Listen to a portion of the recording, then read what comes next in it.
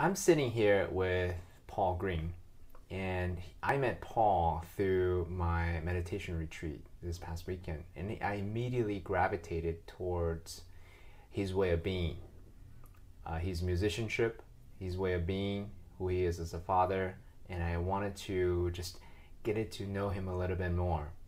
Um, professionally, though, Paul, if you, if you don't mind sharing a little bit about what's exciting in your world, what makes you come alive, I think give you some people a little bit more context. That would be really great. For sure. So uh, professionally, I'm an actor. I've been at it for 20 years um, from a small farm in Canada and I watched Bloodsport and I knew I had to I kept waking up in the movies with Jean-Claude Van Damme and I was like all right this is a problem. Like I was on this farm doing chores and I was waking up in movies. So at 16 as soon as I got my license I put myself in acting school. So I am and I've always knew I wanted to act from from then and and it I've now 20 years later it's a it's a career that I do every day. I'm on a TV show called When Calls the Heart that that's um, in our season six right now. And we also it's on Netflix. Um, my character comes in in season four. I love music. Um, I play piano guitar and I like to sing. My, I, and I also am a pilot. I love uh, flying. My dad got there's 14 pilots in my family. Oh wow so I, I grew up around birds, those kind of birds. Um, I'm a I'm very curious, uh, spiritual person. I'm very very um, in love with my life. I'm a father. I have a beautiful partner named Kate, and um, I'm passionate about helping find a cure for ALS. My dad died from ALS a few years ago, so that's something I'm very passionate about. Just having my life um, make a difference for others is is what I'm creating my life as. Mm, beautiful. And then the, the theme of from what I gather from our conversation, the theme of our conversation, we primarily talked about how do we go from fear to love, and that's what we cover. That's right, and that fear to love is is the album that I'm writing. I'm working on an album, and that's going to be the journey of the album, and that's I did a, a, documentary in the Himalayas called The Highest Pass, and that was where that was birthed. We were on motorbikes for a month in India to Tibet, and I was a part of a documentary. And I had my son on the gas tank, his picture there, because I was constantly afraid of being maimed and hit by trucks. And we saw so many people get hurt and mm. killed. Mm and I was in fear, and I was not a very good rider. And at one point, I just I felt God just say, "Fear makes you dumb and stiff, and a bad rider, and love will make you liquid and smooth and a good rider." So I put a picture of my son there. Whenever I felt tension, I just like, "All right, let's let's move to love." And I would see the picture of my son, and it made me a more creative rider on the motorcycle, less rigid and less fearful. Mm so that's where the fear to love was uh, born. Mm. was was in the Himalayas in India. What a what a what a lesson. Mm-hmm. I'm really excited to talk to you today, um, namely because when I first met you in our meditation retreat, I was immediately gravitated to your point of view on life.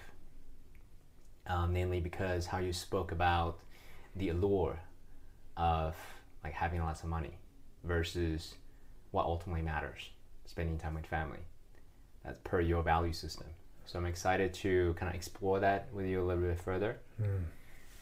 Um, but before we dive deep in those topics this is the question i always ask everyone that is what are some of the pivotal moments in your life that made you the person the man that you are today hmm.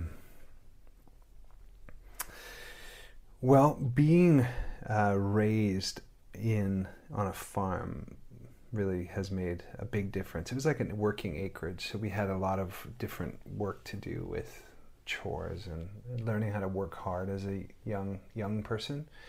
And knowing that my weekends didn't belong to me, they belonged to the farm. Like that was just what we did, and and we didn't, and we had it easy. Like we didn't have a lot of animals. We just had big land to take care of. Um, so that was a big piece to my life was working with soil and having my bare feet and my hands for my whole childhood in the earth in the garden and learning the value of nature and hard work and playing too. We had a full force that my dad built us dojo to to fight each other on and throwing stars. My dad was a welder, so and nunchucks and like, oh no kidding, yeah, wow, and so cool. tree forts and learning how to build them ourselves and learning how to fix our motorcycles mm. ourselves, and um, and then that was a found big foundation.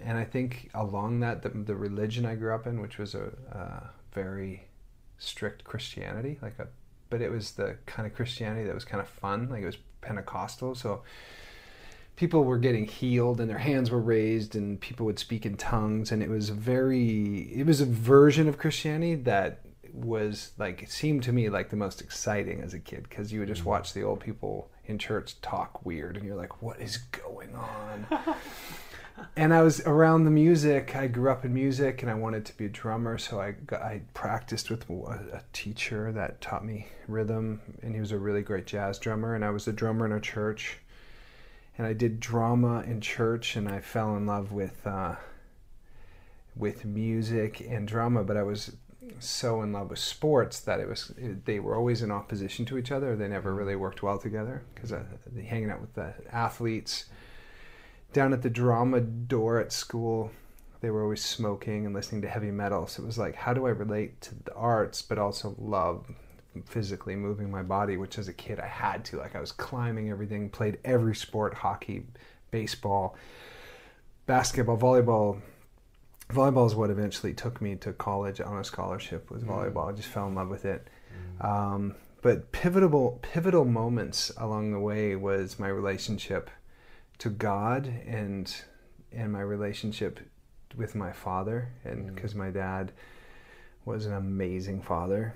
My dad was gone a lot. He was in the oil and gas industry, so he traveled a lot, but when I had my dad, he was amazing. He's very present and mm. steady and later in life I would learn what a what a real man was in terms of holding space for a woman. My dad did that for my mom. My dad had a deep listening for my mom, and so he, watching my dad, uh, and how adventurous my dad was, because he rode motorcycles and flew airplanes, and mm. my dad's the reason that I got into airplanes and motorcycles, and mm. that I got my pilot's license really young, so that I could connect with my dad and and be with him, and so I think that relationship with dad was so such a pivotal pivotal thing, and um, I think there was an age when I was seven or eight, and I I watched my brother get sexually abused by a babysitter, and I think that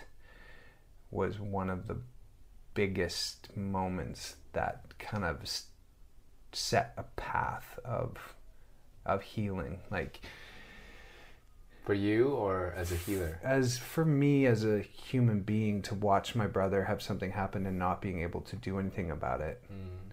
and being angry about it, and not knowing how to express the anger. I realized later in life how important that moment was, especially for my brother, but but me not being able to help him, not being able to because I was younger than him Mm. That really shaped kind of the sexual journey of my life too, because I became really promiscuous from 15 mm. to 18, like mm.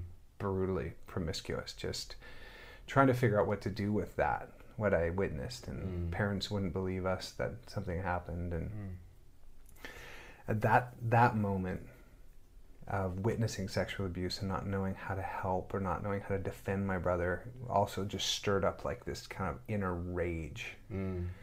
that I've now as an adult got access to as a tool but also as a as a point of going something is wrong something happened mm. and I made it mean a bunch of things mm. and kind of shape my life around it as a sexual human being mm. and at 18 I met a model who was really beautiful. I mean, that sort of we're jumping ahead a bit, but like really shifted my path was volleyball scholarship in college. Somebody saw me in a bar, said you should model, and I went to meet the agent. And out, the day after I met the agent, I met a beautiful Christian girl at the agency. At the agency, mm. and she was like the real deal. Like she was like she had a guitar and she had a Bible and she loved Jesus, and she was hot. and I was at that point nowhere near a relationship with God, even though I grew up in it and had Jesus camps every summer where I got fully on fire for God every summer. Mm. It would mm. only last about a week mm. in school. Mm. And this girl, Jenny, really um,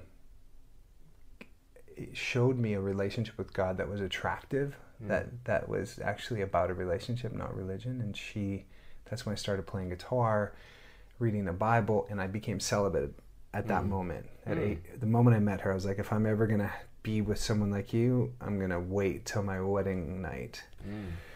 So at the same time, I was discovered for modeling. So I quit my volleyball scholarship and mm. quit university or college and traveled the world as mm. a as a model. But born again, like no parties, no drugs, no girls, just my Bible, my guitar, and my pilot's license and I had took all that sexual energy and turned it into studying and investing. Like I took my money I made from modeling and bought real estate rental mm. properties at 19, 20, 21, 22. Had I not been dis- Jesus had I not had that commitment to God, mm. I would have probably done like all my friends did in their 20s and their teens is mm. just drugs, girls, spend the money, um, live, blow out your life. Right. But I had this structure, this incredible discipline that came. I would love to take credit from it, but it was, it was something bigger. It was a mm. life path. Like it was. I didn't really have much say in it. I really felt like my life was I was chosen to dive deep into the mythology of the Bible. At the time, I didn't have that language around it, but like I just was like consumed the Bible, like mm. the stories, and over and over again. And I shared Jesus with everyone. Mm. Like I played my guitar all over the world on trains and buses in every country, and gave out little pieces of paper that told people how they could find Jesus, like little tracks that were like, if you want to know how to get to heaven. This is mm. how you get to heaven. And I was committed and with no fear. Like I just had no fear of people turning me down or rejecting it or mm. anything. And so it was quite a dichotomy. I had one of the most successful male modeling careers of anybody in mm. terms mm. of income, mm. stature, the mm. clients I worked with. And I credited it all to God because I had a built in tithing system where 10% of my money I gave mm. to church and to charity. Every, mm-hmm. Never missed it. My dad. You Till asked, this day. Pardon? Till this day. Till this day, never stopped. All right. So you share a lot. There's so many points I want to follow up, and I know that it's not over yet. But there's so many things I wanted to to to ask you. So what I hear, a few things. One is you won the genetic genetic lottery in some respect, right? You were born into a family where there's a strong male figure, right, who embodies to you masculine being and what that looks like. You were encouraged to uh, be physical, right? The, the providing the, the, environment, the space, the activity, the tree climbing, the ninja stars, and all that stuff. and uh, you um, were involved in athletics you were surrounding yourself with. Uh, but you also had the um, interesting, I guess, twist would be the word where you experienced your brother's sexual abuse, and yeah. then it, you shifted your life in a particular way, and then um, there's a lot of things I can follow up with. So knowing what you know now, what do you think? Because you are a father now, right? Yeah do you feel like you bring the similar flavor of um, parenting that your father did, as in in terms of the physical activities, in terms of the all this adventurous, the curiosity that your father instilled in you? Do you pass it down to your son as well? Yes, I mean it's the my relationship to my son is obviously different because my dad didn't have the communication that I have learned. My mm-hmm. my dad's responsibility was to provide mm-hmm. and to protect. There wasn't the emotional expectation it seemed on my dad to be able to talk about his feelings with us, you know, or to ask us really how we're feeling. It didn't never really that it the relationship to my son mm-hmm. Is very different than the relationship that I had with my dad. But it does have those aspects that you talked about. There's a lot of adventure, a lot of physical play. My son and I play every day something volleyball, basketball. We wrestle, we play darts. We're very active and sounds like you're really involved in his life. Very. Yeah. And I have the I don't really have the luxury of taking him for granted because I have him a week at a time. Mm. His I separated from his mom mm. Uh, 15 years ago. So when he was, well, he was only a year and a half. So 13 and a half years ago, his mom and I separated when Oliver was really really young. And so I've had him a week at a time mm. for his whole life. One week, one week off. In that week I have him is full on, like mm. very present, very deep connection. And the week I don't, I get a bit of reflection time on what I mm. did with him. Was I present? Did I make him wrong? Mm. Like, so I think a dad who has a kid 24 7, 365 every day has a harder job than I have because I have the week of space mm. to f- focus on my dreams, my goals, what I'm after, and mm. a reflection time of how how my time is spent with my son. And then when I have him, it's like Christmas time. I'm, mm. It is like 100% game on, like play, fun, dive deep, adventure, camping, the whole thing. Mm. So in it's more than a silver lining. It is the life that we created for him mm. and that he created, called in for himself, and he has a really unique life. Mm.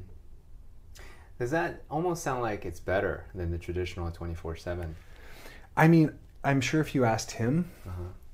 He most kids would have the romantic dream that their parents would be together. Mm-hmm. And I'm not sure if he would say it was better, but I think possibly later on in his life he'll look and go like, "Look at this diverse. I had two dads because his uh, his dad mm-hmm. um, is also very involved. Mm-hmm. His his stepdad is also mm-hmm. very involved in mm-hmm. in his life, and he is the perspective of Katie, who's my my love and my partner, who's just like a super coach and like super wise and mm. Highly intuitive, and then his mom, which who's just like a rock star in every sense. So he has four mentors, mm. giving him four unique lenses on how to look at things. Mm. So I think it's better, but I also the the the family, and like you said in this question of what it's like to be a dad in modern times the traditional family, I, there's something so strong and so beautiful about that. I'm not, I'm no way am I assuming that's better to have a broken home or a split home or a shared home, but there are some really cool benefits mm. that I've experienced from my own perspective about it. Mm. Um, mm. Yeah, I mean, my friends and I, we, we, we talked about this a little bit. Uh, obvious, I am not a parent yet, so this is all I'm imagining what it's like to to have a you know someone who totally dependent on you, right? But to me, as an imperfect human being who's perfectly imperfect, um, it's kind of crazy to me that we expect to we're expected to um, pass on our ideas, these memes, to the next generation because that's so limited in perspective. Mm-hmm. Traditionally, tribally, we do have this community of elders that you know kids can pick and choose different points of view or so and so is an expert in something right? Trade or like building woodwork or art or martial arts or whatever it may be. And, but these days they're very very limited. It's almost as if the more connected we are via technology the more insulated and then now the kids are solely dependent on the parents who are living boxes basically on top of one another, those little apartments. Yeah. And I think so, there's such a missing. So when I do have my own children, my desire is to have these multiple perspective, whatever I may call it. Hopefully not in a share home situation, but in a but in a in a in a tribe of elders where they can listen to. I'm curious to know your thought about that. I I think like so. There's a gentleman named Joseph Campbell um, who, who I'm sure you've heard of. The he wrote the hero's journey, a hero with a thousand faces, and he's the the biggest mythologist that we have who passed away. Um, he's responsible for the Matrix and for Star Wars, and you know even um, the the hero's journey, the classic hero's journey. And he said that our society began to fall apart when we stopped living in tribes. And because the elders would, your, my grandma and grandpa would take care of the young kid, well, the young couple who are like 18, 17, or 15 year old, they're, they're able to develop their craft and their love for each other.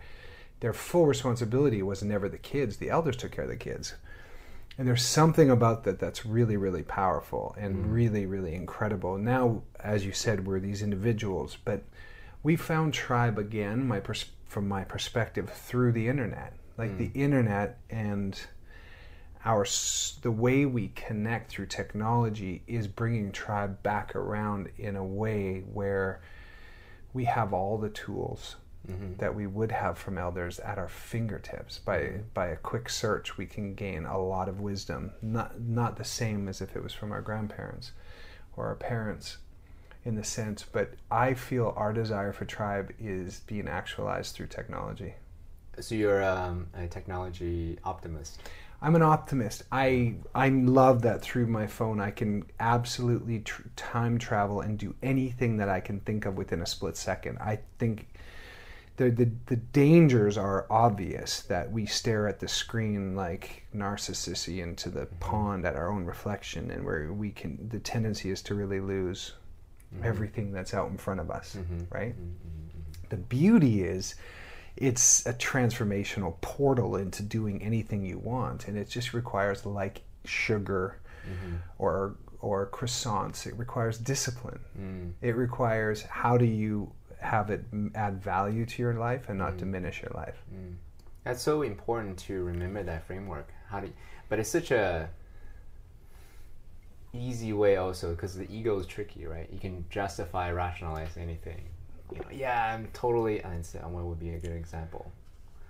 Uh, oh, um, I deserve to eat this sugar because I worked so hard all this week yeah. It's a way to rationalize. I mean, there's some variation of that for anything of, yeah. of our addiction, right? Maybe so. But without getting more philosophical, I, I'm actually curious to know if you wanted to say anything more about your pivotal moments that kind of shaped you as a man, as a father, as a as a human being, as an entrepreneur, as a lover. Anything that you wanted to share, like pivotal moments that kind of shaped your mm-hmm. worldview.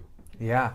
Well, going on that path of Christianity, I did wait till my wedding night to have sex six and a half years later. So I was celibate from 18 and change to 24 and change. Oh, actually, on that note, curious to know your thoughts. Sorry to interrupt. it's, one may say, it's really challenging to navigate the holding that sexual energy right? So you can go crazy with it, as you said earlier, the promiscuity, right? And then you lose your purpose. But you can also, on the flip side of that, get so controlled by this like absolute no no, right? Mm-hmm. And then, but this energy had nowhere to go. You couldn't really channel it. Then you have the also the kind of like the unhealthy way of expressing that sexual energy. Mm-hmm. Case in point, the Catholic Church, the priests, mm-hmm. all these other things, right? So yep. as a as a uh, kind of like the dichotomy, the different spectrum. So how were you able to? Coming from a very one end of the spectrum, coming to the middle, where you're sounds like able to harmonize in a very healthy way for your career, for who you are, for the path that you took on. It was a natural I, I understand the question. It it in the there's a lot of repression and there seems like on any extreme of these things there's a lot of dysfunction. Mm. But I channel the sexual energy into learning and into finances and into music and into learning how to cook and learning how to speak languages and like building this life that was so fun that the sexual stuff it didn't even feel like I was repressing it. I just I was busy and You I was so many other things happening. And sexual energy is creative energy and Mm. it's it's your i just f- turned the tap on in another area and i Mm. think that even now as a 44 year old man i when i go away from my love kate and i'm in vancouver i have to channel that into songwriting and into the gym and into my art and into contributing to other people's lives not get self-absorbed and and get dangerously addicted to any pornography or masturbation or all of like it, it's yes it's a it is a discipline but it's not one of lack it's of abundance of finding an abundance of fun things to do that you can mm. channel that energy into mm. that you're not even it's not even the word temptation isn't even in the conversation because that creates uh, polarity right mm-hmm. It's not like abstaining from something. It is just doing everything and that one thing isn't going to make your life better. Mm. isn't serving you so you decide not to add that in for the moment. It's not gone forever. It's just not going to work with what you're creating in your life at this point in time. And it just takes to remember the perspective. I knew i was going to get married. I knew i was going to have a wedding night. Mm. i knew i was going to have sex again. Mm-hmm. Um, but it wasn't i wouldn't feed the the the black wolf. Like i wouldn't stare at a girl's ass as she walked by. Mm. like i wasn't looking at pornography. I wasn't hanging out with people that were doing drugs and partying. I hung out with elders of like giants real estate giants god music giants uh, spiritual giants and i learned aviation gurus like i just i got so much out of not running my sexual chi all over the planet for the, those cr- pivotal years some would look at it as rep- repression but i never saw it that way i still don't see it that way mm. i see it as just like a training for martial arts it was just a It's a little discipline that you Yeah. took on. And then what I hear you saying between the lines and, and also in words too, explicitly, is that your life is just so full. It wasn't a missing if you didn't have this aspect of your life. There's so many other avenues for you to continue to grow and then enrich your life in real estate, in, in, in acting, in, in sorry, in, in modeling, and all mm-hmm. these other ventures that you can spirituality that you can take on, such that missing this aspect is not something that you would need to obsess over. No. That you need to kind of hide and then repress by like having this like very rigid control.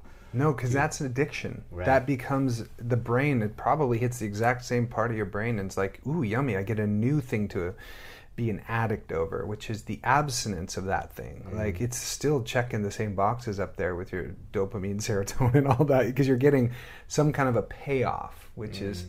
I'm this disciplined, controlled.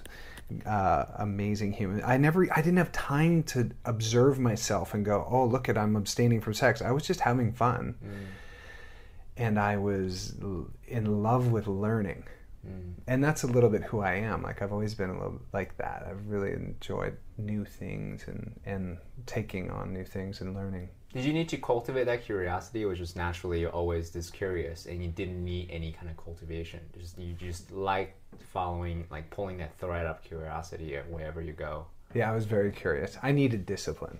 I only needed discipline. I needed a structure to the chaos. I had plenty of chaos as a kid. Like, if I, I was always jumping off of buildings, like I had that kind of energy. Like, and you literally jump literally jumping. I would look for the highest thing and go and jump off of it. I never broke a bone.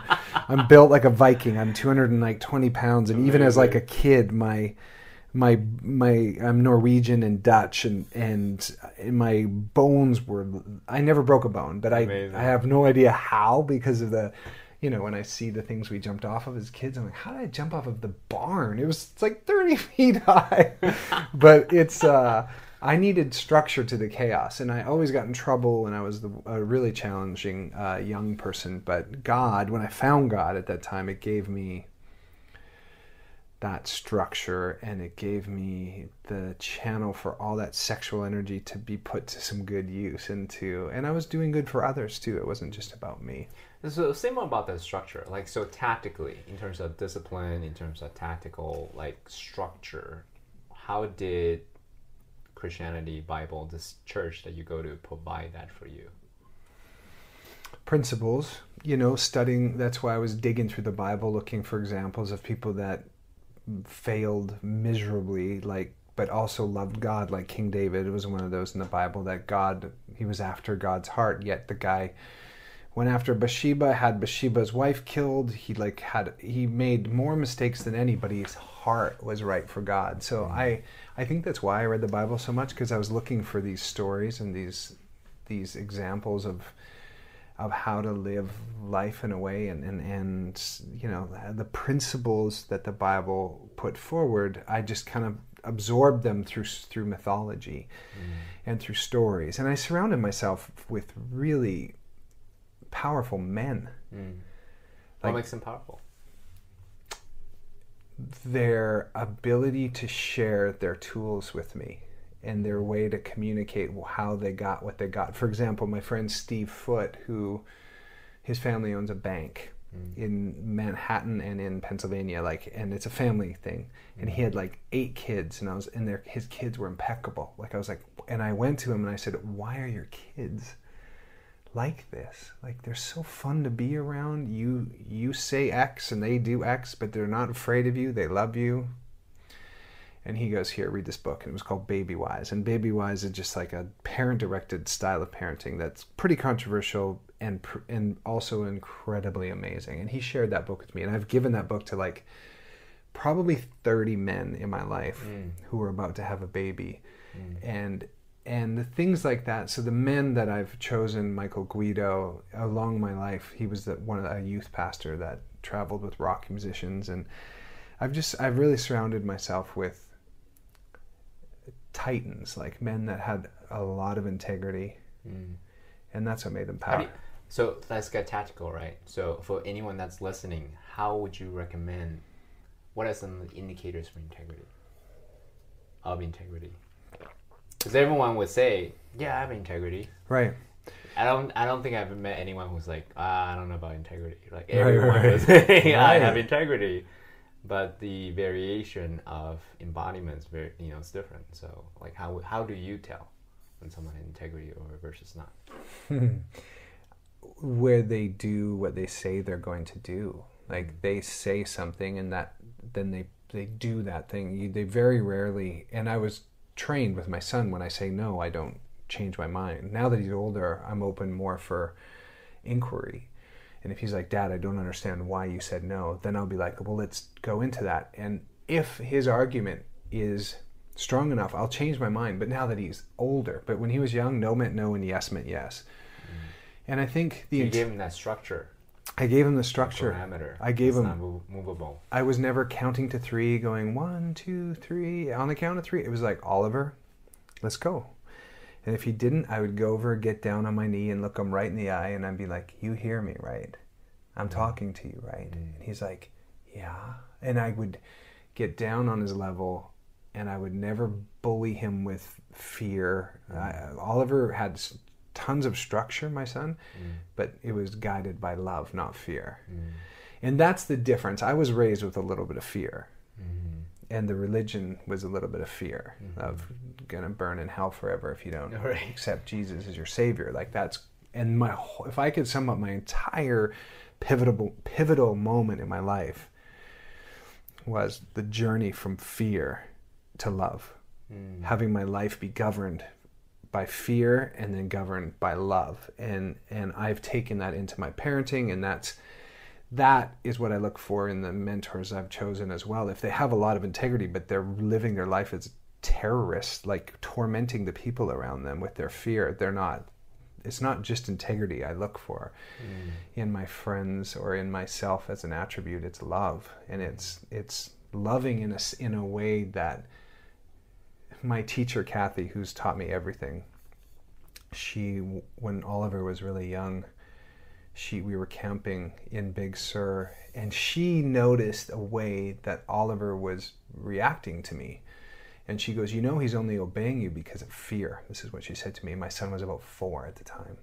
I was like, What are you talking about? She's like, He's he's afraid of you. And she goes, When has he ever come up to you and just like snuggled? And she goes, You have a tapping foot, you're restless and you're angry, and he is afraid of you. And this was at four. And thank God my teacher came into my life when she did. This is Kathy. And so she goes, Get really present, Paul. Take a deep breath. And we were around the fire in Big Sur and ground yourself. Stop tapping your foot and get present. And Oliver was running around like and his behavior was crazy and she and and she goes instead of trying to bully him with your energy get down on one knee and share with him the way you're acting Oliver doesn't work around the fire where we are we want you to be here and we love you but if you're going to act crazy like that you got to go in the tent zip it up and go nuts created structure to the chaos. She taught me that all in the same moment. So Oliver went in the tent and he just went nuts in the tent. And he loved it. He was like a wild animal in the tent, which didn't work where we are. It's Right. dangerous with a fire. Yeah, we were trying to have a good conversation and he was crazy. But I was able, because of her getting present, then, then I was like, Oliver, are you ready to come out of the tent? And he's like, not yet. and then he went nuts a little bit longer and then he gassed himself out. He comes out, he came over, and for the first time, I think in his life, he came, laid his head right on my lap, Hmm. and I'm looking at the fire. And it was almost sun setting, and, and Kathy's there, and, the, and and I just I'll never forget hmm. the moment I learned to connect with my son in a way where he's not afraid of me, hmm. where it's coming from love. I'm so moved by what you shared. Thank you so much. That was a very special moment. Thank you so much for sharing with me, for the people that are listening to this. Um, I don't know if you speak text, but that's the only way I text. oh, no kidding. I don't know how to do it. You just push the the you push this button here. Uh, Hey buddy, how's everything going? Question mark. I see. Love it. It frees my. free- free- I, I can't stand doing that. Yeah. It's a way of having technology not own you. You get to own it a little bit. That's how I feel. I feel like when I'm typing in my cell phone with my thumbs, that my technology is owning me. Mm. And when I speak it, I feel like I'm owning it. It's mm. an interesting thing because I'm able to be a little bit more present too mm. with the, my surroundings. I love it. Thank you for sharing that. Yeah, I got that own concept from Aubrey Marcus' book, Own the Day, Own Your Life. Have mm-hmm. you read it? Mhm. There's a few things in that book that I was like, oh, I'm going to borrow that. At least that concept of owning your day, not letting your day own you, or don't borrow from tomorrow by drinking heavy tonight. If you do, you're not owning the day, you're having your, your alcohol's owning you. Um, another structure to the chaos, you know? I'm always looking for that. I'm always looking for an order to the chaos. Like, Mm. how do I add a container so that my creative feminine side can be playful, but I can still highly function as a responsible man and be enough of a structure that my woman can have the feminine space to Mm. be playful and fully expressed or angry and not be reactive to it that I can be a container for my woman Mm. in the same way and another book is David Deida's The Way of the Superior Man Mm. Beautiful book. fortunately 12 years ago that book came to me and it's kind of been my bible through Mm. my my this my 30s Mm. of I'd read a chapter a day and I'd Mm. integrate it and then I would um, and I worked with David uh, David Deida was one of his assistants Oh, no kidding. Uh-huh. Oh, amazing. in Miami um, so I got to be one of the male assistants and got some coaching through him and I'm there's a lot of things that I really really love about David's work there's some things I disagree with but that's that's what having a, an objective sane mind is is questioning and so I don't never take I don't take anything without questioning it a little bit Yeah, no, that's beautiful. That's actually a really key.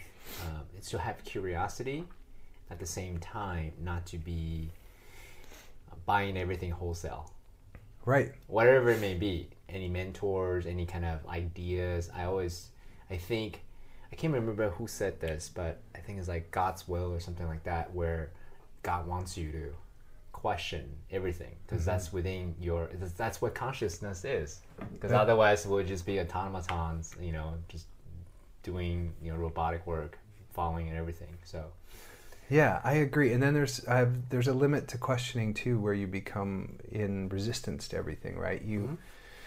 it's a, such a fine balance questioning to a point that you, only that it's make serving your life and making your life work. If you become a, a, a, very resistant, questioning person to a point where your life doesn't work, then you've taken that too far. Yeah. And you can be in resistance or in creation, right? Yeah. And which is a distinction that I love from the work that I'm currently doing. And um, in that, to I think being curious, like you said, is a is maybe a more powerful way to describe questioning everything mm. because questioning everything has quite a bit of resistance and resistance only gets you so far. Yeah. I love the yin the older i get the the, the, the more i appreciate the yin yang sign. To me everything is a spectrum. Like it's everything to everything is a spectrum. And the idea is to find that harmonious point. It's not a balance point because balance implies giving up something and then letting something else go right? Whereas harmony it's have everything work. And then in, mm. in the black, there's a little bit of white. In the white, there's a little bit of black. You know, so everything to me is the key point is to find that internal compass, internal harmonious point. But you actually drop a few gems. I want to go back to this real quick. In terms of, and this is all in the overall journey of going from fear to love. In terms of holding space for your woman, for your son. Say, can you say a little bit more about the work that you actually take, whether it be from reading, whether it be from studying with, you know, master teachers like David Deida as an example. How do you how do you embody that? How do you integrate that? Because it's easy to read. Oh, I understand it, therefore I am it that's not how it works, right? It's the integration work is so much more important. Can you say a little bit more about that?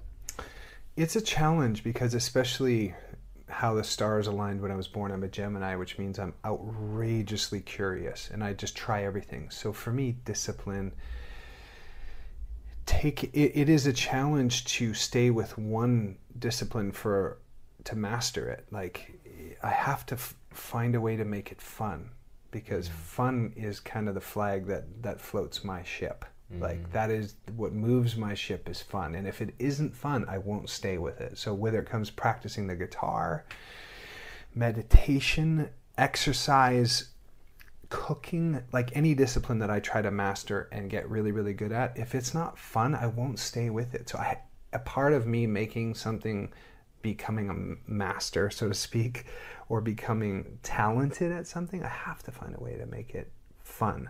How do you do that? Because I want to do that. I hear you. Yeah. Because I'm the kind of guy who I see the goal, I'm going after it, yeah. but I start to lose this, like, you know, I don't know how to say it, like mm. joie de vivre, right? This je ne sais quoi, like this, yeah. like this, like joy to. And it becomes like a chore, and then it becomes like burdensome, and then. So when I meet people who's alive and enjoy and mm-hmm. joyous and it's like okay i want to know so how do you do it?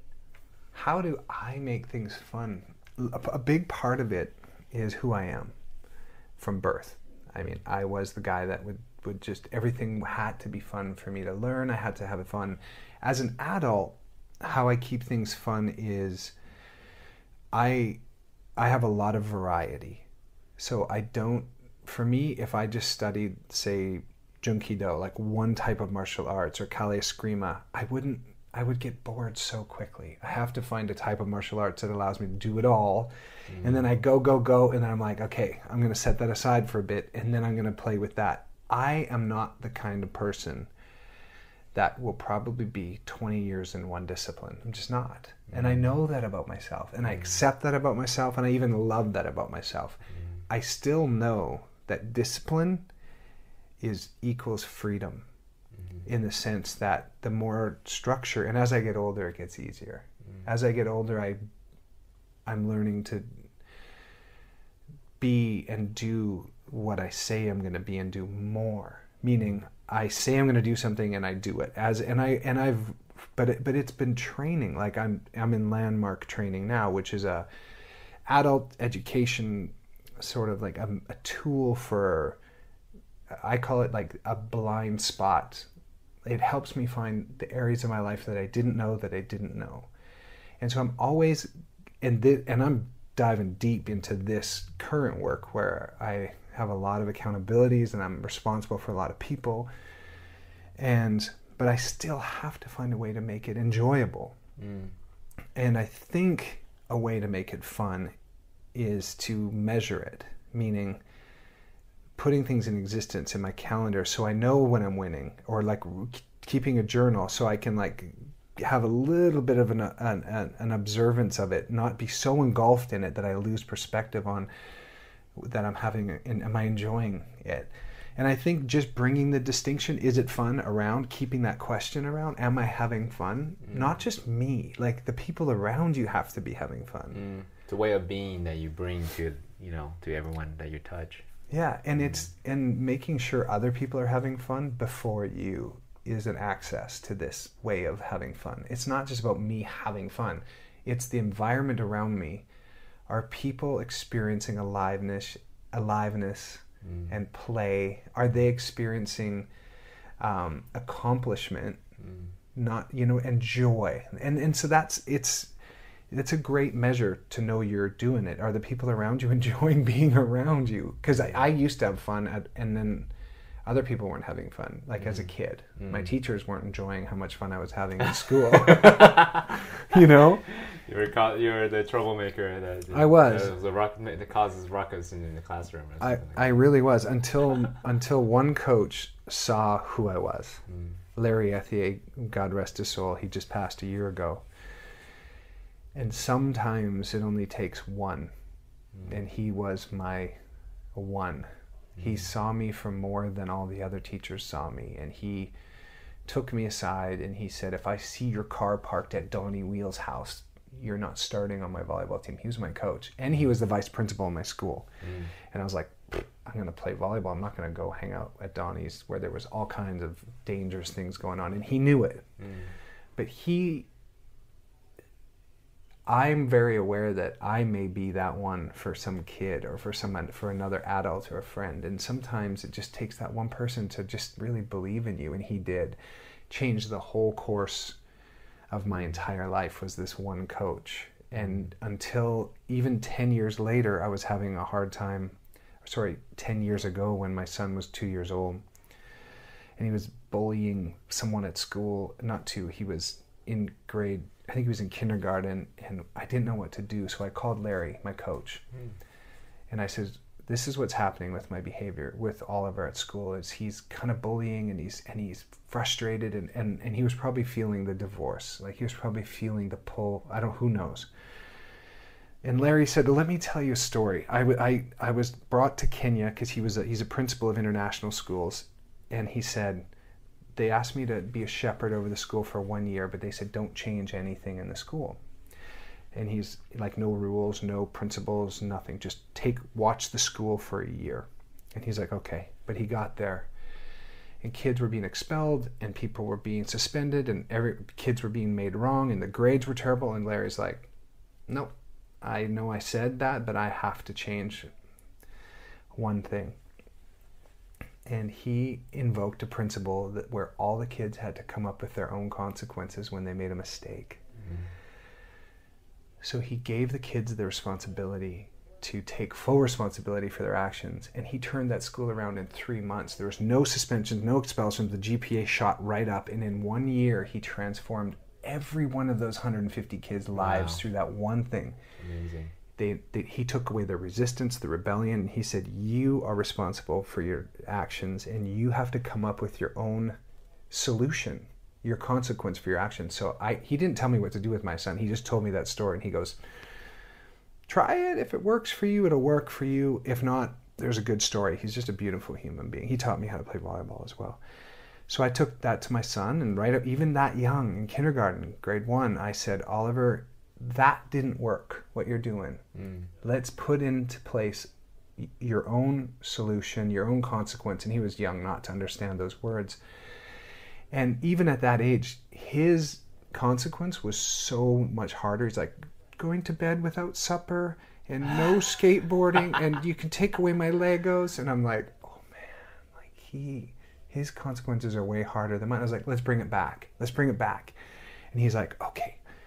And, and, and he got so much pleasure and joy out of coming up with his own mm. solution mm. for to to for the thing that wasn't working that he didn't really want to be bullying he didn't but he didn't know how to to create the answer and through this through this discovery through larry i learned that tool mm. and to this day at 15 years old if he if something's not working in his life i'm like okay you get to come up with the way.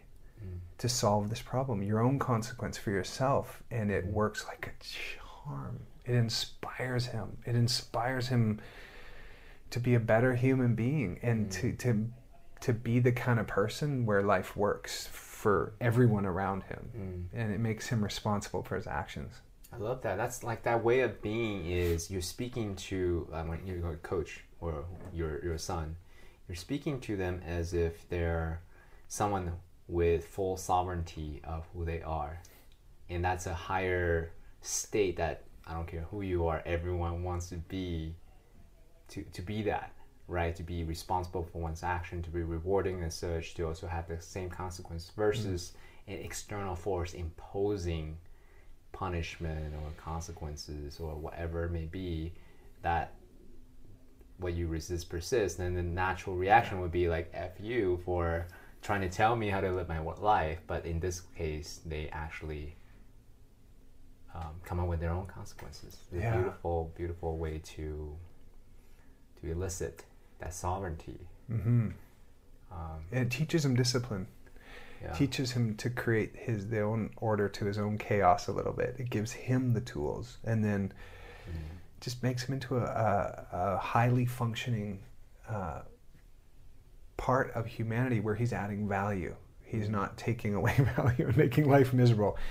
And my experience of parenting him has been so joyful mm. and so pleasure like he it's just been and I've definitely along the way been given these huge nuggets of of these tools that I'm like I'm that have made parenting and being a father just just a discovery and so joyful.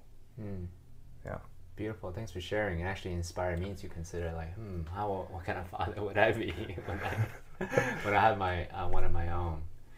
Thank you. Because for me, not having a child, not having children, it's like concerns. Like I don't want to um, be irresponsible with this, irres- this this responsibility, but through your lens, you show me a different way of like the come from place.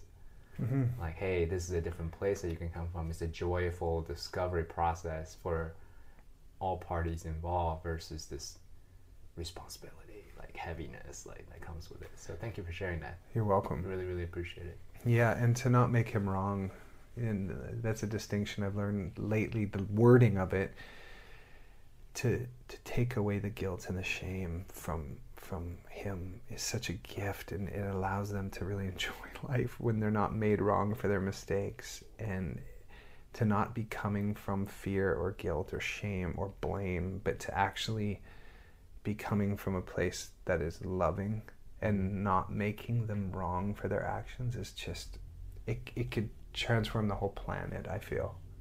So on that note let me ask you this question. So one of the um, epiphany that i have during our meditation retreat is is this we have effectively the the ego and then we have the higher self in my mind this this is my mental model and it's easy to follow the animalistic desire to be selfish, to care about the self, to worry about survival, to have anxiousness, or to, to follow anger, all these other things, right? It, it takes no effort, right, to do that.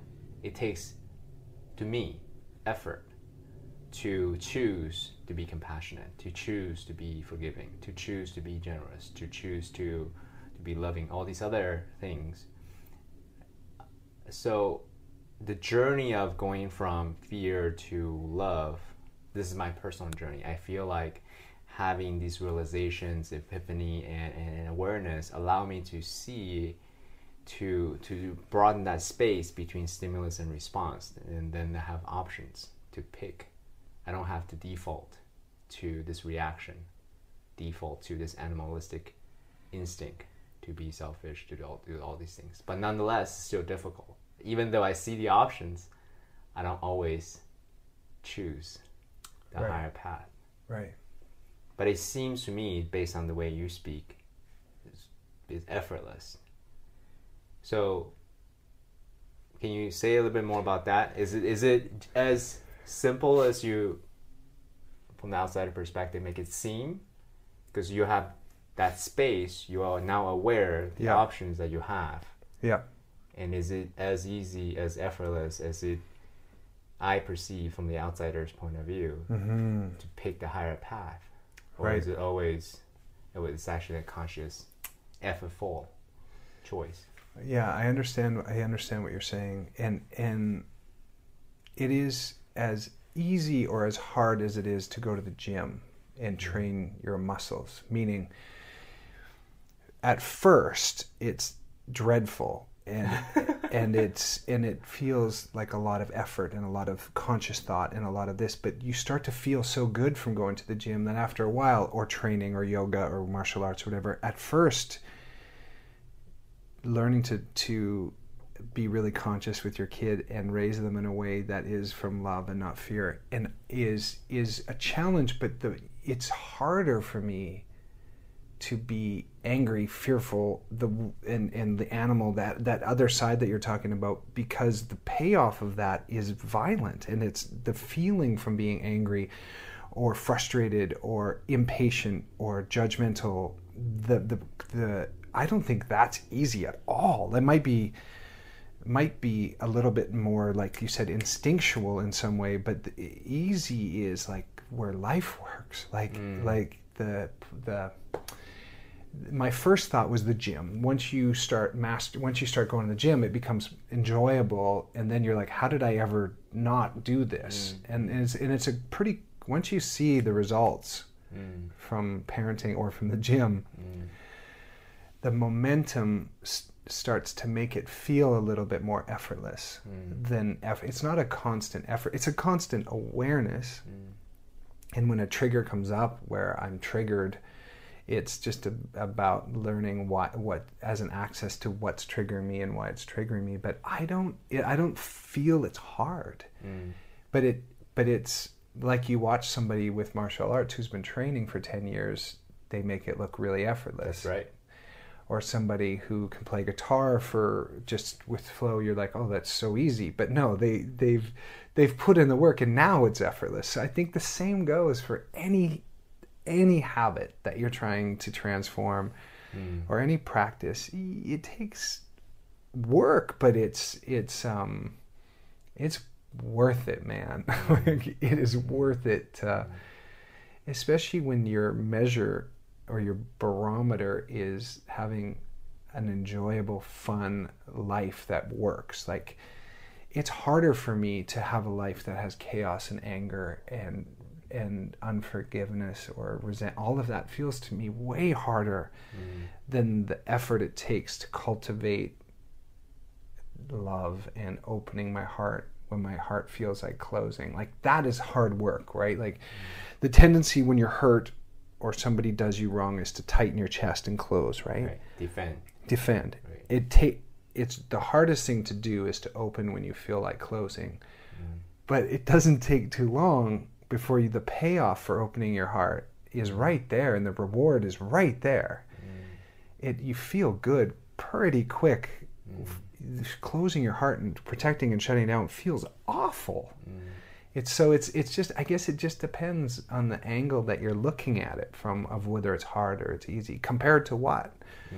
it's it's hard a little bit but it's but it's a lot harder to to to be in pain So what I hear is this like short-term payoff, there it is right? To be to be, follow that animalistic instinct.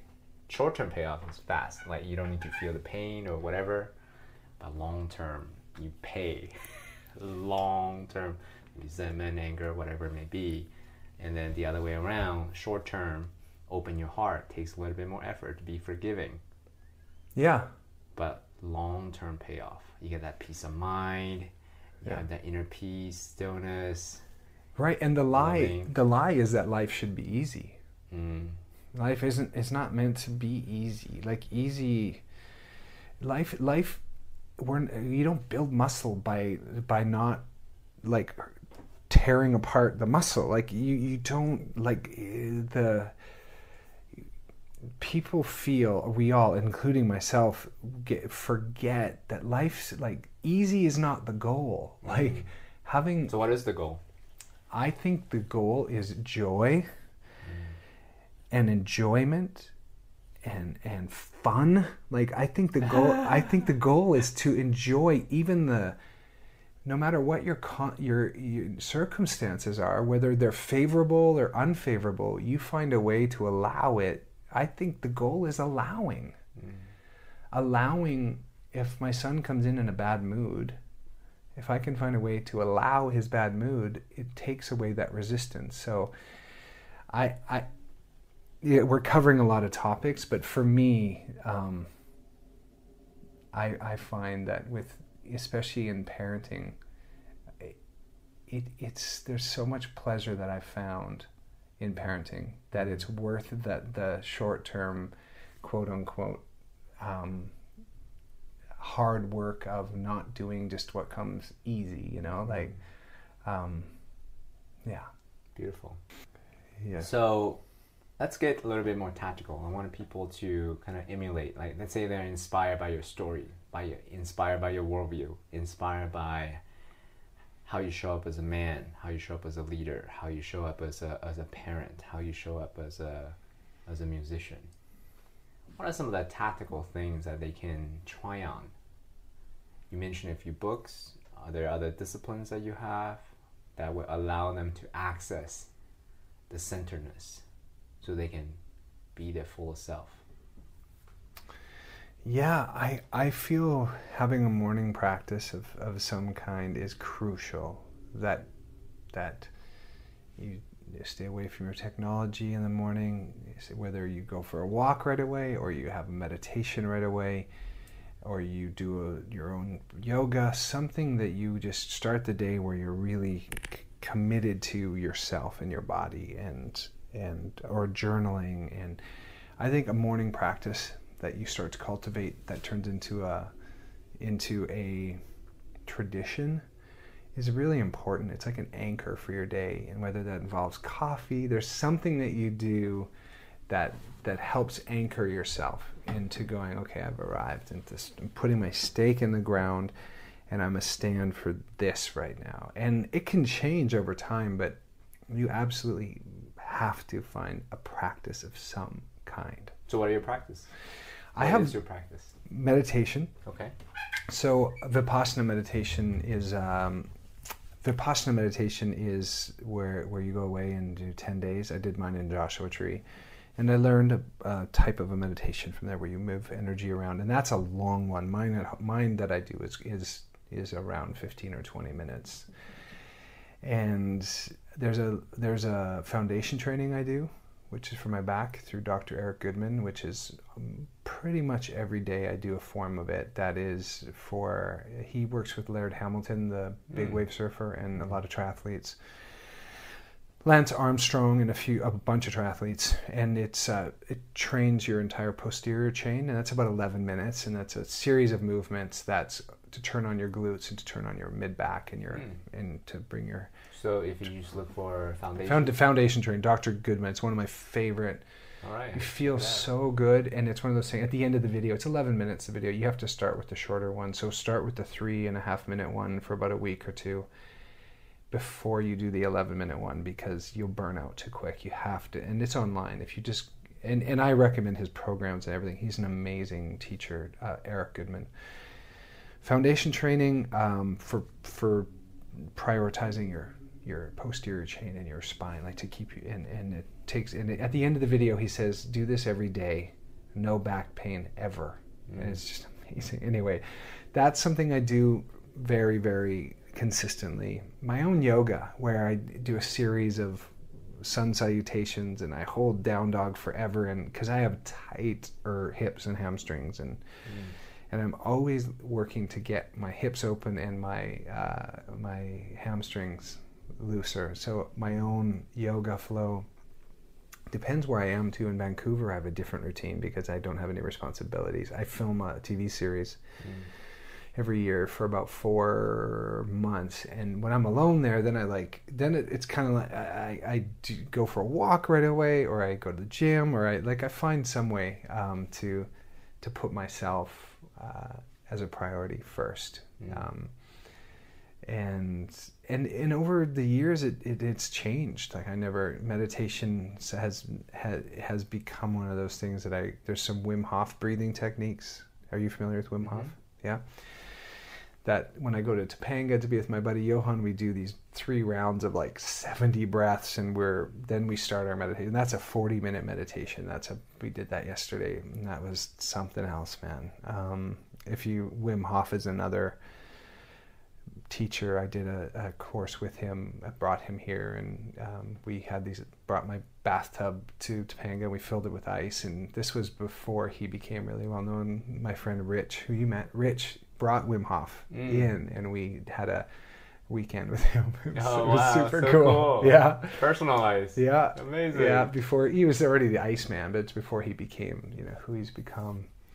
Um, I have that. That's it. Just depends really where I'm at in the world too. The meditations is very very important, and when I'm not meditating, I feel it really really quickly mm. because I go into doing and not being. Mm.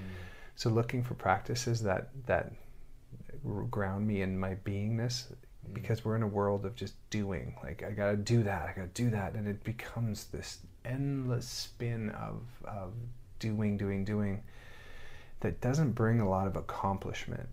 And I find beingness can bring a lot of accomplishment. Say you, more about that, actually.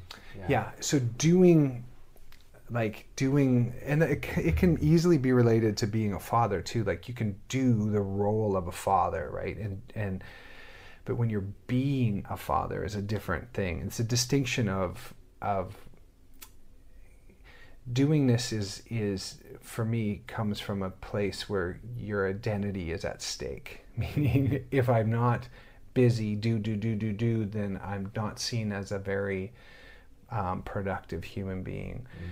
where beingness has a lot of stillness in it but it also is your your your what's me- giving you the measurement of your success is who you're being not what you're doing someone who's being a certain way will just naturally do certain things, but someone who's out doing a bunch of things, it doesn't really work in the reverse. There, there, it's you don't do. Let, let, let me let me try to explain. So,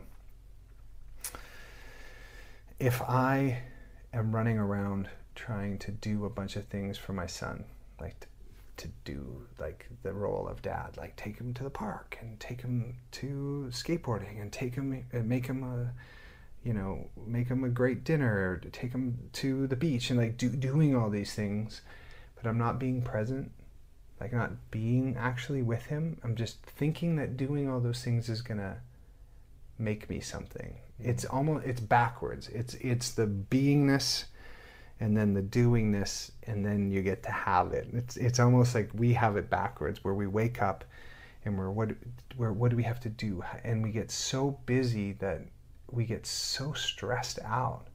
And I feel like when you're operating from a place of being, like being, it takes away a lot of the anxiety and a lot of the stress and and there's a so much more accomplishment and joy that comes from and that could just be simply that taking the 10 minutes to meditate or 15 minutes to slow down and look at your hands and just actually be in this body for a minute we we are we, we're so driven to accomplish and to do things that we forget who we are sometimes and we get so defined by the things that we do that we actually don't get to create who we want to be or who we are being mm.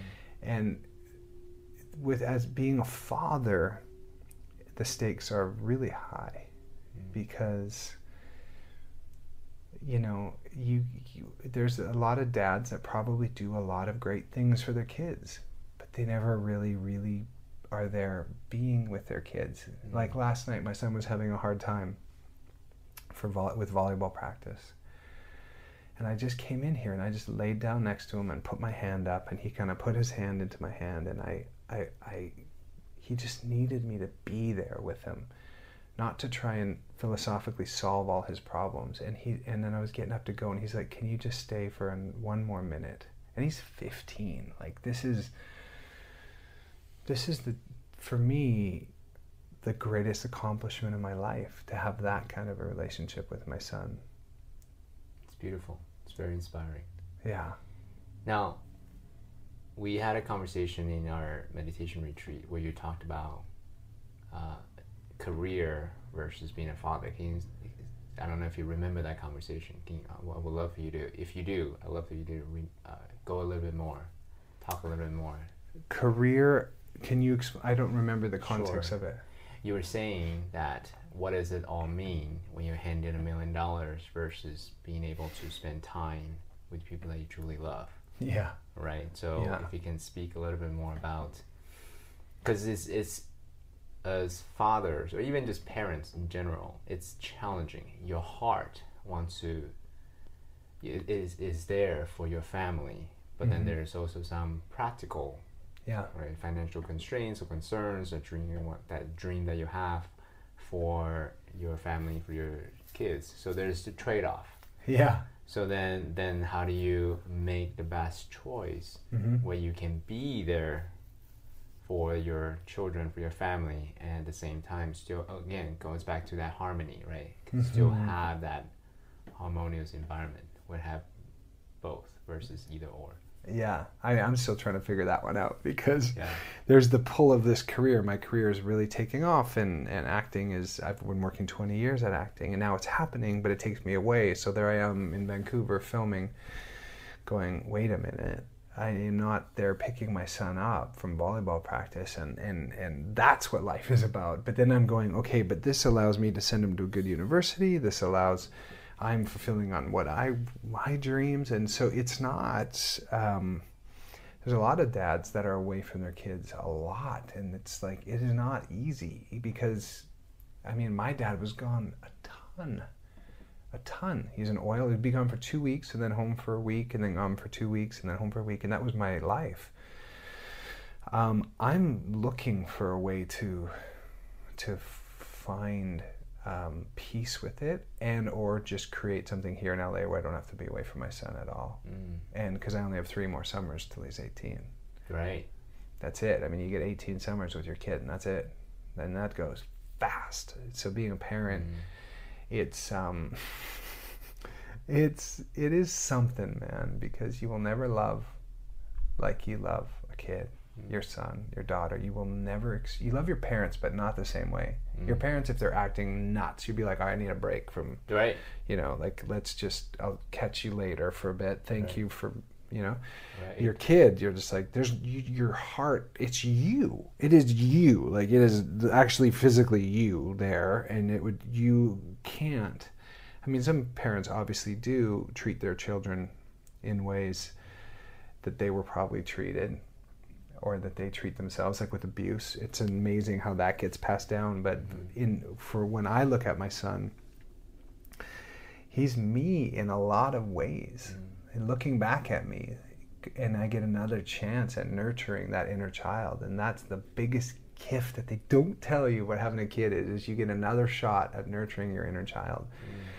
and I'm fiercely after that that with him where I I'm not going to destroy his inner child mm. because he, I get another shot at nurturing my inner child by just having a kid. It's so incredible. Mm.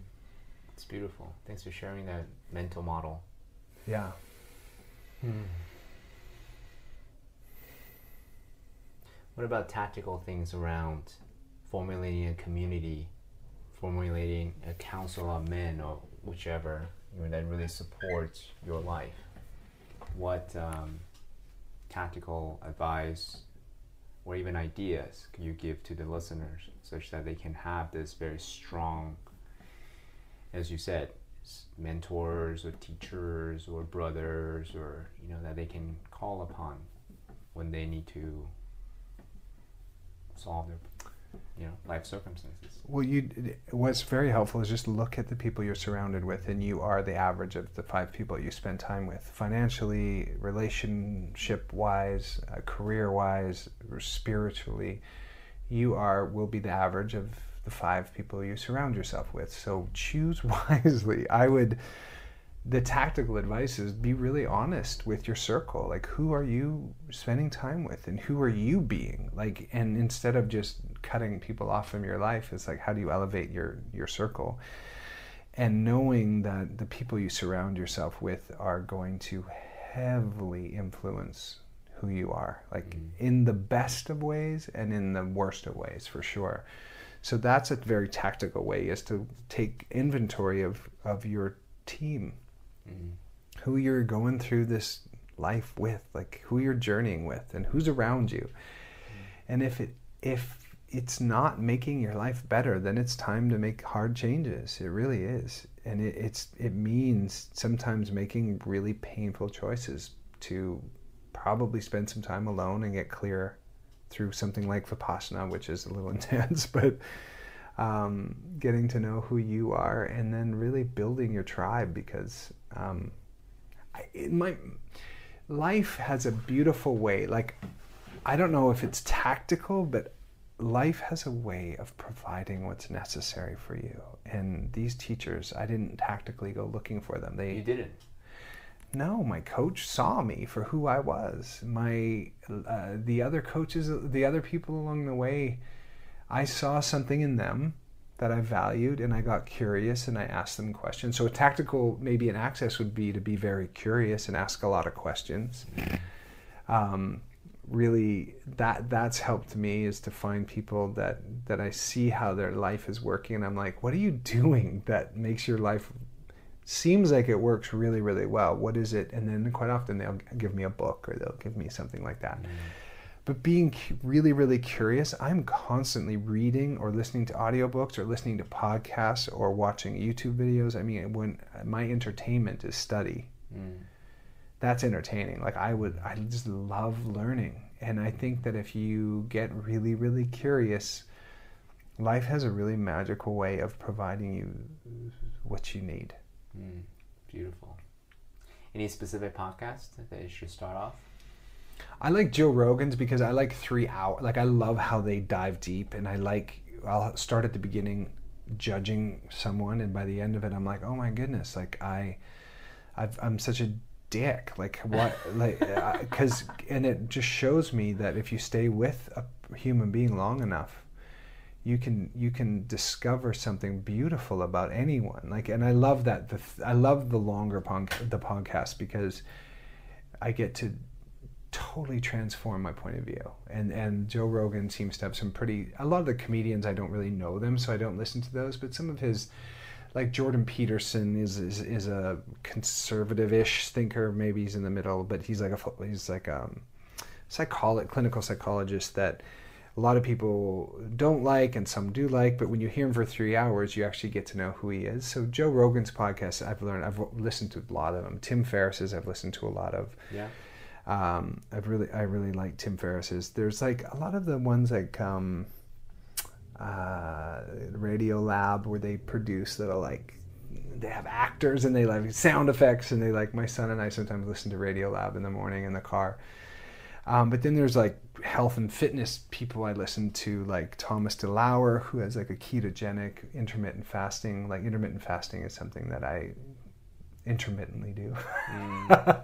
when I, it, I'm, I'm not sure if the listeners have heard about it, but probably. And look, intermittent fasting has some incredible longevity and, um, uh, especially for men, um, bodybuilding, like your muscles when you fast.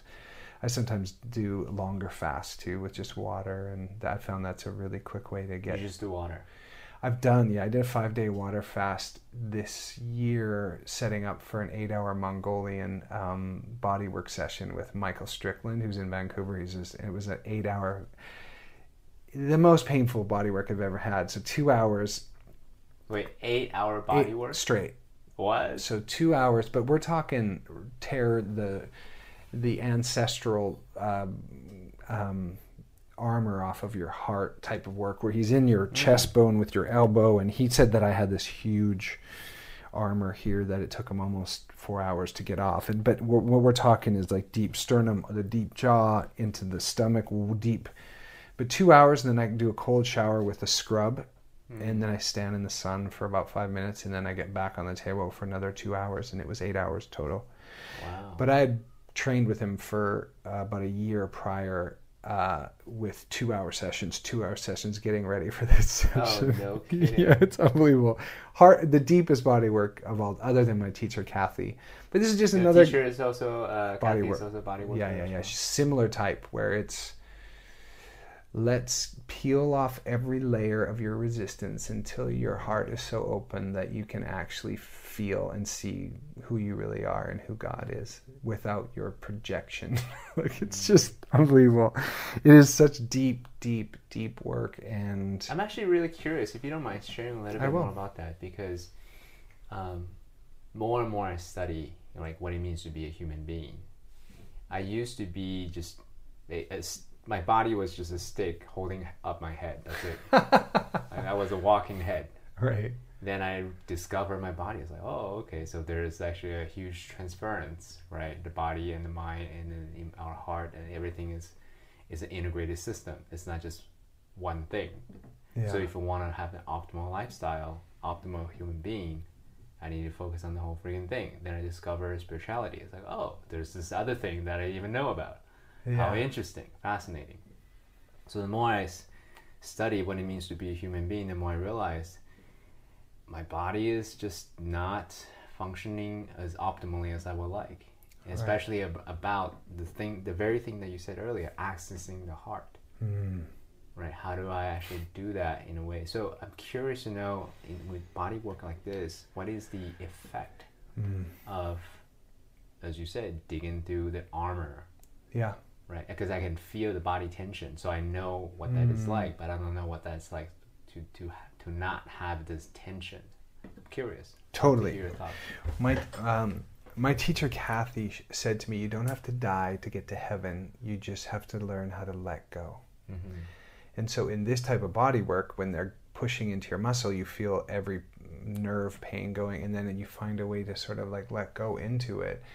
And then it's almost becomes like a portal into another dimension through your muscle, through your trauma, through other, uh, in in through layers and layers and layers of pain and and shame and guilt and punishment. That and it, it's almost like the if they're that type of body worker, they can go right through it to a point where you surrender and you completely get to the other side and there is just an incredible um, i mean it takes it takes layers and layers. I mean it, it is it is like scraping. So it, it takes it's not something that you can go too quickly because you can create more trauma right because Um, you, your body tense up. Like what is this pain? Yeah. experiencing It It, it is, and but like what going back to the heart, I don't know if you could sum up spirituality any different than opening your heart when it feels like closing. So when someone hurts you, spirituality, from my perspective, is how do you open when you feel like closing? Like, mm. and then finding tools to make that a reality. Like the heart, when you're hurt or when someone wrongs you, mm. the tendency is to protect. So if you're really learning in your spiritual practice, you will be opening when you feel like closing. And I, that type of body work is something that I've attracted, or that vibrating foam roller from Vyper that I was telling you about. It's called Viper Ice. That thing vibrates so deep that I'll put it there and just kind of like let my body surrender into it until the, the that the tightness opens, and it's um. I don't know. I think that opening our bodies up is is a is the is such a a worthy adventure is to not be rigid and stiff. That's death. That's rigor mortis. That's you know you're dead. To find things to do that keep you pliable and soft, both both in your Mhm. structure of your thought Mhm. and in your body is is something that I'm really interested in. Yeah. And I'm at 44. I just keep discovering these new tools, and then I get really curious and and keep bringing them in and and um, keep discovering new ways to open. Yeah. In Chinese medicine, the framework is that our body is the vessel for our spirit. So when your body is so stiff, it becomes brittle. It breaks easily, Right. right? I- don't know if you ever had experience where you hurt your back or you know your, your leg, and then it just like all you think about is the pain. Versus if you actually maintain it, so it's pliable, so it's like you know strong and pliable at the same time, Yeah. then you can do so much more because then you don't need to worry about there's that psychological safety is gone. You can do like I can do anything, Yeah. any kind of movement or Yeah. energize my body, myself, and through my this vessel that I have. So hmm I'm so curious. I'd love to meet Kathy one day. Kathy's amazing. Michael's amazing. There's Michael, Kathy, a Valerie's amazing. I have, I, th- yeah. I Yeah. guess as we journey through life, these, like I said before, life provides these beautiful teachers and these beautiful, and I add value back to their life. That's what I'm. I'm not just trying to get something from them. I'm trying, like, how do I, how do I add the value back so that it's um, equally beneficial? And I, I think that that's where you're living your life too. Is is is really uh, adding value. If you want to get paid more money, find a way to add value. If Mhm. you want to have relationships that work, add, make sure you're continuing to add value to others. Mm, thank you. Yeah. I know that we before we start the podcast, you wanted to share some gift with us. Yeah, if and you, if you don't mind sharing, I don't. bless us with your music.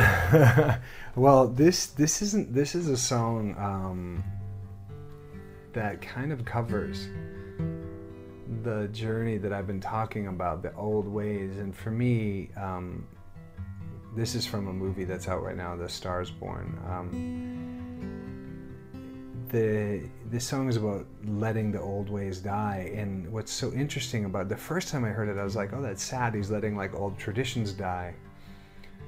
But then I thought, the more I played it and the more I learned it, I'm like, "Oh no, no, no! This is this is like the things that aren't serving you. Let those die away." And and then the, in here is my journey from fear to love for sure in the lyrics. And i just this is uh so this is called maybe it's time.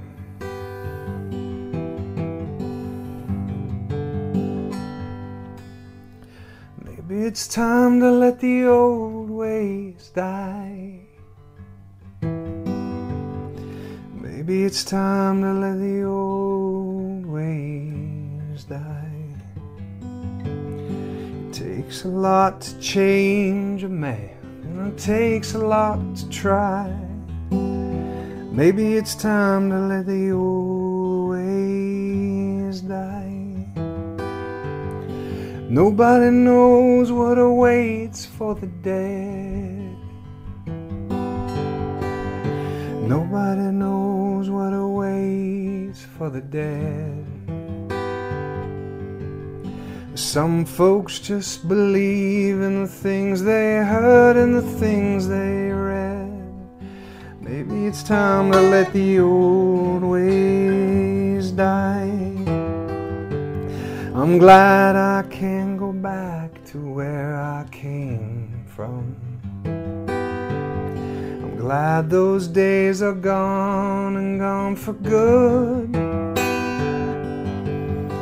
If I could take spirits from my past and bring them here, you know I would.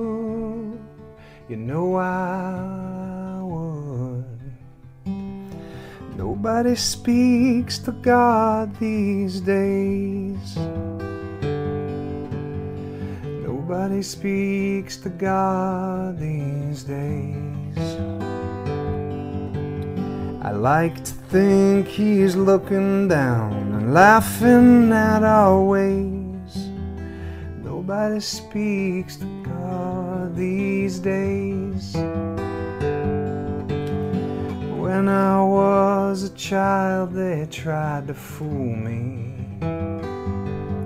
Said a worldly man was lost and hell was real. But I've seen hell in Reno. This world is one big old Catherine wheel, spinning wheel.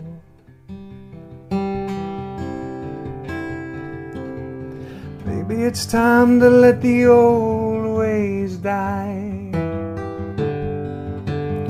Maybe it's time to let the old takes a lot to change your plans and a train to change your mind. Maybe it's time to let the old ways die. Oh, maybe it's time to let the old ways die.